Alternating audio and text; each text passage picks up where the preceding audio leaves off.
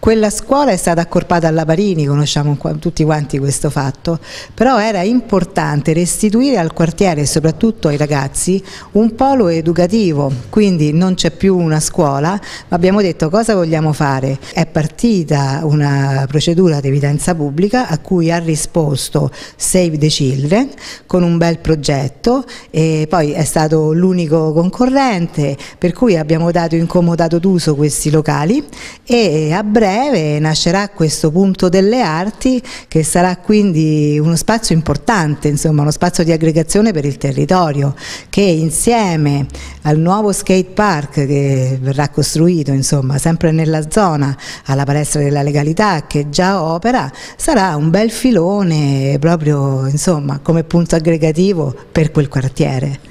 Quanto durerà questo accordo, questo comodato d'uso per i locali? Guardi, questo comodato d'uso è un contratto di un 4 più 4, quindi si rinnoverà ogni 4 anni eh, tacitamente. C'è comunque la clausola che qualora dovessero servire nuovamente delle aule per la scuola, se noi dovessimo avere bisogno, eh, ci ridaranno 5 aule la mattina per fare la scuola. Poi insomma eh, sarà un progetto importante perché aggregherà tutte le associazioni che magari ci sono nel territorio. È importante sottolineare che questa è un'operazione a costo zero per l'amministrazione. Assolutamente, anzi l'amministrazione ci guadagna in quanto eh, Save the Children farà una ristrutturazione dei locali, ha presentato un progetto con, per un valore di circa 320 mila euro di ristrutturazione eh, che poi rimarrà alla scuola, quindi è tutto quanto c'è da guadagnare, anzi, anziché perdere. Costo zero, attività completamente